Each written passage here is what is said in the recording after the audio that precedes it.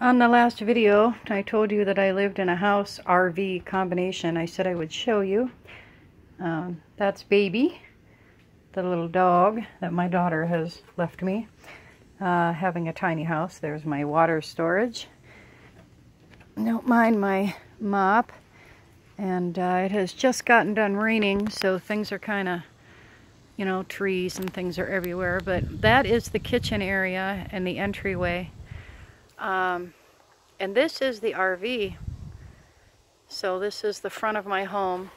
In my post that went with this video, I said how I had a patio area. That is my patio area so that I can get out of the house. Um, this is the front. Just kind of a, a little garden. Uh, I have a little bench. So as you can see, it's not very big. Um,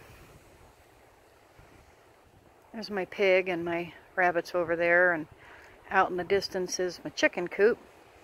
Save that for another day, but right now I'm going to show you around the outside of my home, my tiny home. This is my kitchen garden.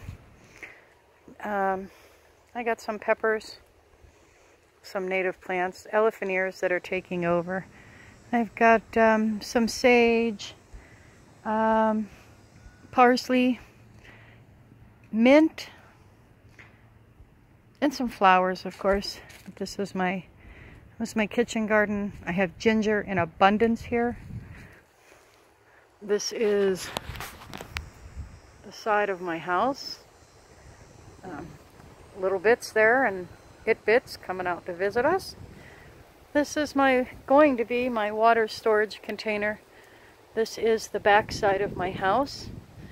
Uh, my propane tank, my hot water tank. Uh, that window goes to my bathroom and there you see the RV. Um, I don't know if you can see how it is attached. There is actually a space. It is only attached at the doorway inside.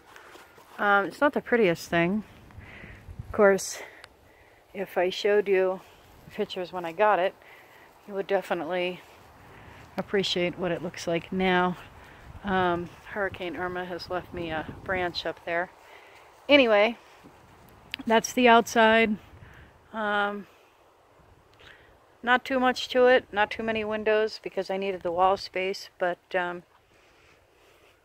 yeah, that's my tiny house give you another view of the inside or the outside here from the front. That goes into my living room.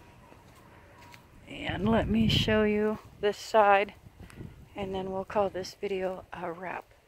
Okay, so that's the outside. Um, I just put a piece of screening up across that door. I've got to cut it off. I've got the gazebo laying down, or not the gazebo, the archway. I knew what I meant. Um, in my article I had said that the gazebo was blown down and that is was what was on there. Back by my pool which looked like an aquaponics project and it's not supposed to be. However um, so that's my tiny house. That's what I live in. It's where I spend all my time. I hope you enjoyed the video